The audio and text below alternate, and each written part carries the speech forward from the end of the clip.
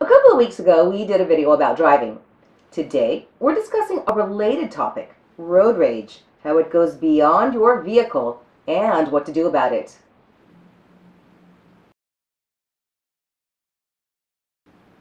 Often people with road rage have underlying anger. However, this might not be apparent in other areas of their life except when they're driving.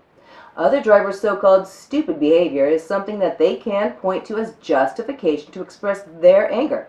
Yet, others might not experience road rage or frustration when they drive. While they might not express frustration while in their vehicle, maybe they come to the office and take out their frustrations on colleagues or subordinates. Perhaps they take this frustration home. Another possibility relates to the tendency we discussed in a previous video. People can act passively aggressive towards others. If a variety of frustrating things continue to happen throughout the day, this can make us angrier and more frustrated in general. Regardless of where you fall on the spectrum of anger, here are some suggestions we think are important to carry out. Conduct an honest assessment of your anger and see whether it spills into other areas of your life beyond driving.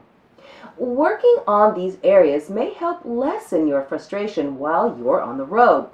If you are experiencing road rage on a regular basis, you should consider seeking the help of a professional.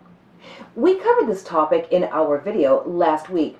This is because such behavior can have drastic consequences. On average, in the U.S., there is at least one death every day that can be attributed to road rage. Be more community minded. Consider that the other driver might be late for an appointment or going through a crisis or something might have just happened to them. Look for alternative ways to utilize this energy through sports, recreational activities, even creative expression. There are many ways you can channel this energy.